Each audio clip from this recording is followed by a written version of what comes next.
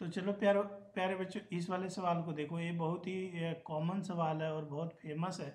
और अगर आई की एक स्टैंडर्ड रिज़ल्ट आया था और इसको तो आप डायरेक्ट कर सकते हो कि अगर कोई मेटालिक राड है this is the metallic rod is here और ये metallic rod uniform magnetic field B में, जो कि इसके प्लेन के परपेंडिकुलर है ओमेगा से घूम रहा है और इसकी लेंथ एल है तो इसके अक्रॉस ईएमएफ डेवलप होगा।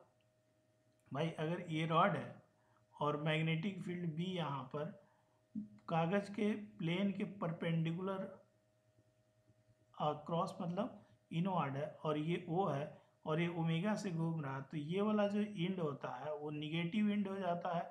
दिस इज़ द यहाँ पर सारे इलेक्ट्रॉन एकोमिनेट हो जाते हैं उन पर फोर्स लगता है सेंट्रीफ्यूगल फोर्स तो ये इंड ए हो जाता है और इंड बी तो ये निगेटिव हो जाएगा तो ये पॉजिटिव हो जाएगा। मतलब potential of point O is greater than potential of point A और अगर इक्विवेलेंट बैटरी देखोगे तो ये जो रॉड है, वो इक्विवेलेंट प्लस माइनस ऐसे बैटरी की तरह बिहेव करेगा, जिसका ई एम एफ़ ई होगा।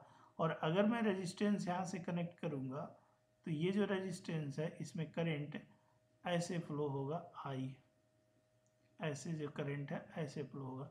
तो यहाँ से इसमें तुम देखोगे तो इस ई एम एफ़ ई की वैल्यू मैं थोड़ा डिटेल में समझा रहा हूँ, आपको पता होगा, रटे होगे तो half half B omega L square होता है। तो half B omega square half ये कभी सही नहीं हो सकता ये कभी सही नहीं हो सकता।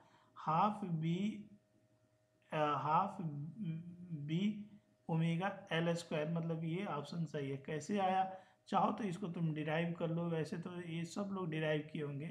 फिर भी चलो मैं कर ही देता हूँ। यहाँ से एक्स डिस्टेंस पे जाके एक छोटा सा एलिमेंट ले लो डी एक्स और ये D x element linear velocity भी से घूम रहा है, जिसकी वैल्यू एक्स ओमेगा के इक्वल होगी।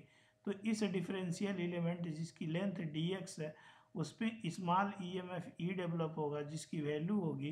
भाई कितना होगी जिसकी value induced E M F B V L होता है एल यहाँ पर डी एक्स आ जाएगा और बी और वी की वैल्यू आ जाएगा एक्स ओमेगा डी एक्स और ये डी ई अब मैं इसको इंटीग्रेट करूँगा यहाँ पर। X is equal to zero पर ई एम एफ़ ज़ीरो था और एक्स इज़ इक्वल टू यहाँ कैपिटल एल पे ई एम एफ़ ई है।